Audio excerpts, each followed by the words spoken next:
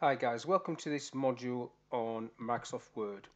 In this session we're going to look at how to create indents, tabs and alignment. So first of all, the easiest and the quickest one, alignment. In this document at the moment I have this paragraph, the top paragraph, it's emboldened. I'll just double click on the margin and take the bold off with Control B. Now to use alignment you do not need to do that. You don't need to highlight the paragraph, you just need to be in the paragraph. And this is a paragraph group on the ribbon, and these are the four alignment buttons that you have on the ribbon. So as you can see there, left align is pressed in, and the actual diagram or the picture on the button relates to how the text sits on the screen. So you can see there, it's smooth down the left margin, but jagged on the right. Center aligned jagged either side, right aligned, jagged on the left but smooth down the right, and then justified where it spreads it out to make it smooth down either side. And as I move my mouse across these, you can see the key commands coming up for each of these features. So first of all, left, we're on left. Then we'll go center. Let's click left, then we'll go center. So that's centering this paragraph between these two margins, uh, which is not this hourglass symbol. That's just the indent marker, which I'll come on to in a minute. But this sort of change between dark grey and grey on mine. Your colours may be different depending on what theme you have in Windows. Right aligned paragraph like that. And then justified, which is what newspapers do, where it spreads it out a little bit. If I click onto this paragraph and select justify, you can see that actually just pull it slightly wider and it sometimes looks as though you've got a gap between words. If I put show hide on, you can see that there are no gaps. It's just one single dot, which is what it should be, but it's been spread out by using justify. So those are the basic alignment options. Now the key commands, um, Control L for left, Control R for right, Control E for center, not C, C is copy, and Control J for justified. Those are the key commands, and to be fair, those are the commands that I would actually use. Now in addition to those, you can go into this small down arrow, which will get you into the paragraph dialog box, and you have those same options at the top there, left centered, right, and justified. Now I would not come into this box to just set left centered, right, or justified, because there's no point. You've got the features there, or you've got the key commands. When I would use these would be if I have to set a template and I need to do these other things as well. So I then would come in here maybe to set up all these other things. But for now, I don't want to do that. Cancel that off. So that was alignment. The next bit is indents. In my experience, indents and then tabs, which is coming later, are the two of the main causes of stress when people edit in documents because they don't understand how they work. First of all, you need your ruler displayed. Now when you first get into Microsoft it doesn't have the ruler on, it comes like that with just a blank space at the top. So to activate your ruler you click view, ruler. That will now show you if there are any tabs which there are not at the moment or if there are any indents and there are no indents. These are the indent markers, right indent marker, left indent marker. Now the left indent marker looks like an hourglass because you've got three elements to it. The top triangle is the first line indent, then a hanging indent, and then the left indent. So you can actually move these separately, whereas that one is just one element, right indent. So back to the Home tab. The paragraph group, you have two buttons which give you increase, decrease indents.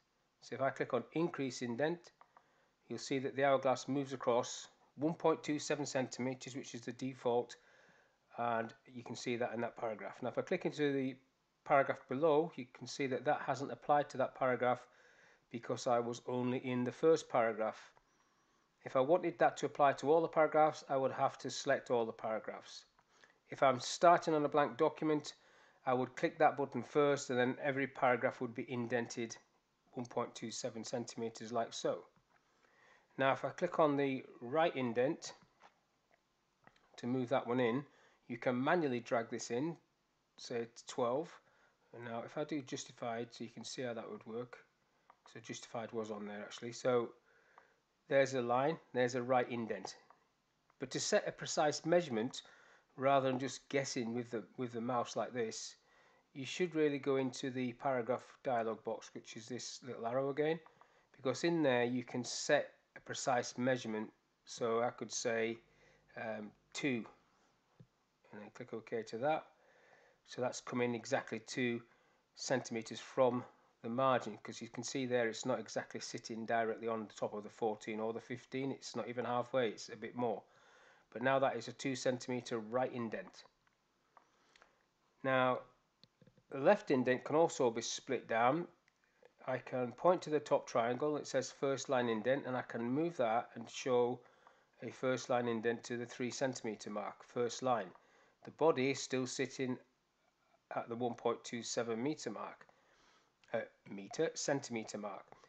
If I pick up the rectangle, I can move these together with their split and position them wherever I like. So there, the main body's gone onto the margin. The first line is at two centimeters. Now to bring them back, you need to bring the triangle back so they sit on like so. If I move the bottom triangle, you get what's called a hanging indent. Now the first line is there and there's the hanging indent.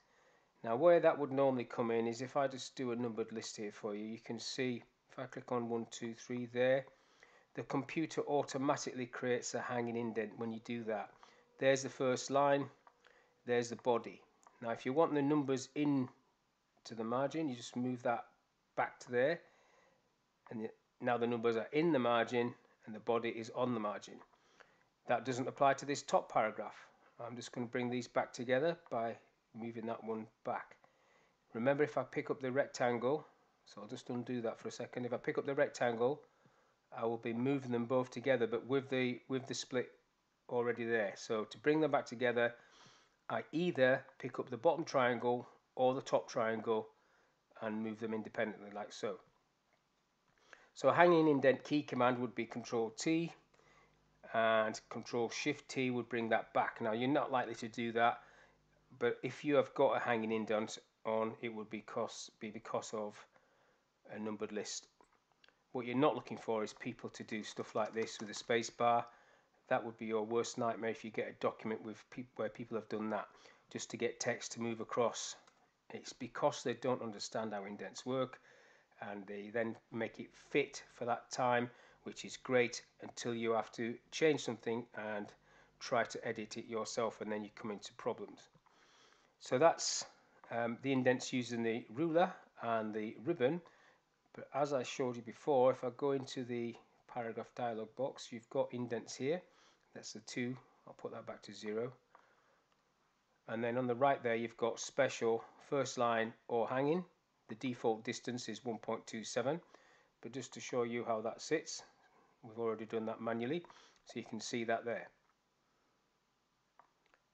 Now control Q is the key command to reset paragraphs.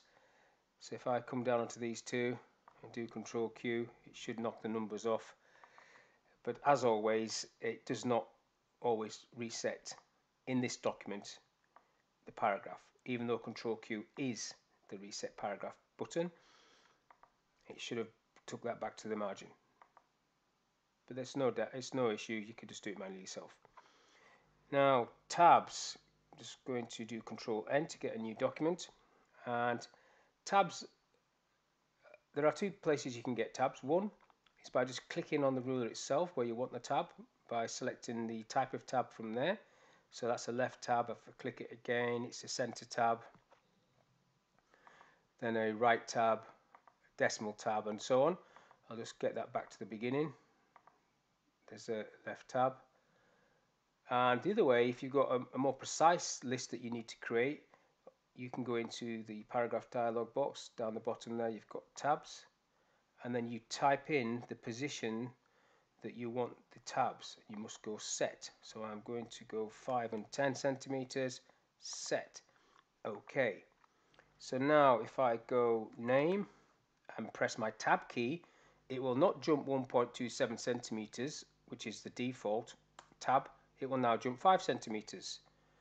And then I'll just type room and then tab again, it jumps to the 10 centimeter tab, which you can see now on the ruler.